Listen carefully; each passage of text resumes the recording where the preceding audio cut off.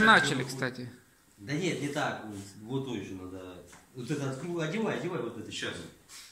Итак, приступим к сборке.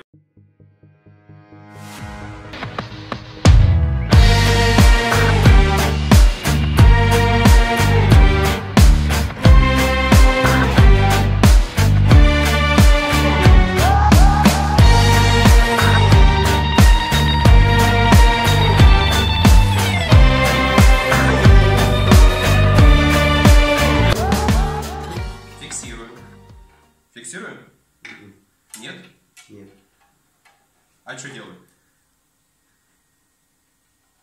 Вот тут разве не надо сейчас зафиксировать? А, стоп. Дошло, да? Да, фиксируем. Все фиксируем на середине.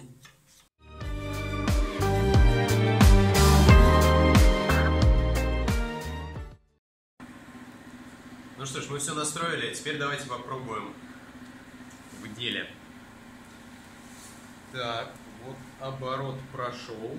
Хорошо. Достаем. М, Кривенько, не очень. Понимаем, что вверх ногами, что-то не то.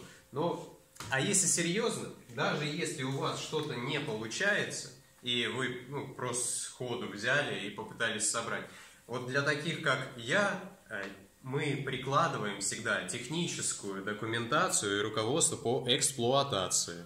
Поэтому будьте внимательны. Хотя ничего сложного нету. Просто если у вас технический специалист на уровне меня, то даже в этом случае он разберется, как пользоваться этой машиной. Предположим, что задача усложнилась. Играем по-взрослому. Смотрим. У нас теперь бутылка немножко с конусом. Blended виски. Неплохо, неплохо. А, И попробуем снова все настроить, но уже без шуток. А, Сперва спозиционируем бутылку. Прежде всего, вам нужно открутить вот эту часть, чтобы установить бутылку. Но какой стороной? Для этого сперва посмотрим, как она будет у нас располагаться. Мы понимаем, что она будет наноситься таким образом. Значит, мы правильно спозиционировали нашу бутылку. Устанавливаем. Ну, к примеру, здесь. Меня устраивает. Фиксируем нижнюю часть. Все. Теперь у нас бутылка ходить не будет. И происходит установка рулона. Так, все это дело снимаем.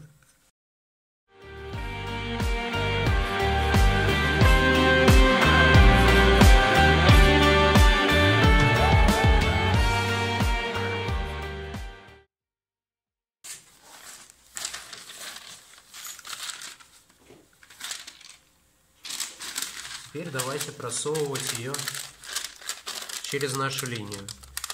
Перед линейкой должна проходить снизу. Под вот этой частью, а не еще чуть позже, она отвечает за отмер э, этикетки самой. Тоже еще поговорим. Так, бутылку убираем, чтобы она не мешала. Как в предыдущий раз показывал, руку надо просунуть а, под этикировочной машинкой и заправить вот, на выходе. Отлично. Здесь есть, и тут она должна, как в старых бабушкинских стиральных машинках, пройти. Отлично. Тоже есть. Все, вот первая этикетка, в принципе, пошла. Теперь давайте ее немножко сориентируем. А, Смотрите, вот видите, язычок пошел. И здесь вот эта часть, она как раз отвечает за регулировку того, сколько этикетки у нас выходят. Все, теперь мы знаем, это наш датчик, мы знаем, что сейчас этикетка с этой стороны вылезает ровно настолько. У нас такой язычок. Теперь устанавливаем бутылку и смотрим, что у нас получилось. Кстати, забыли самое главное. У нас ведь бутылка с небольшим конусом, с отклонением на боковой части. И нам нужно немножко поиграться с этой гранью.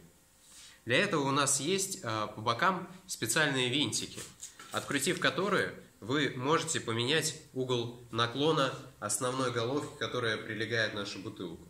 За счет этого вы как раз и можете изменить угол позиционирования. Вот, видите, она играет. Угол позиционирования одной из сторон. Так, посмотрим, что в итоге получилось.